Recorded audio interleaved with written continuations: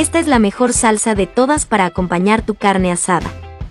Es un aderezo delicioso para la carne.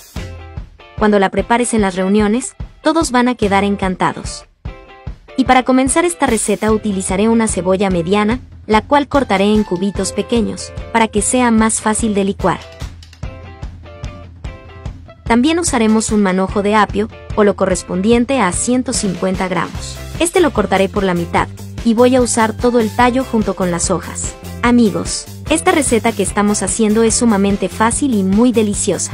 Estoy segura de que a todos les gustará el resultado. Ahora vamos a necesitar un pimentón verde. Lo vamos a cortar de esta manera para retirarle las semillas y después en pedazos grandes. Mientras tanto, me gustaría saber desde cuál país o ciudad nos miras para enviarte un saludo especial en la próxima receta. Y el saludo en la receta de hoy es para Amarilis Álvarez, de España. También para Juan Luis Rodríguez de Costa Rica y Milisa Rojo de Chile. Muchísimas gracias por siempre ver y disfrutar nuestras recetas. Y el ingrediente que no puede faltar es el aguacate.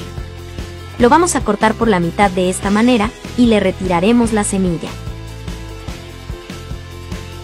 Ahora, en una licuadora, voy a colocar la cebolla que picamos anteriormente.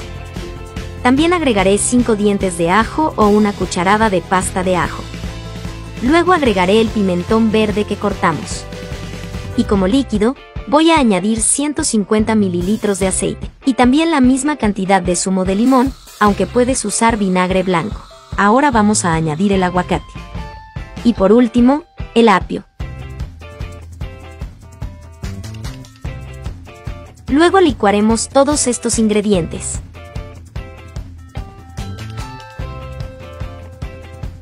De ser necesario, le agregaré un poco más de apio y un poco de agua para que licue mejor. Voy a continuar, agregando un manojo de perejil y un manojo de cilantro, y seguimos licuando. También agregaré una pizca de sal. Si has llegado hasta aquí viendo la receta de hoy, es significado de que te está gustando esta receta. Así que déjanos aquí debajo el siguiente mensaje, me encanta la carne asada, para poder enviarte un saludo muy especial. Cuando veamos que ya se vea de esta manera, es porque está lista. Mira lo deliciosa que se ve. Ahora vamos a pasarla a un bol. La puedes guardar en un recipiente con tapa en el refrigerador y esta te puede durar hasta 15 días. Yo estoy encantada de su sabor. Es tan delicioso cuando lo combinas con la carne asada. Me gustaría que calificaras esta receta del 1 al 10, para así saber si te ha gustado el resultado.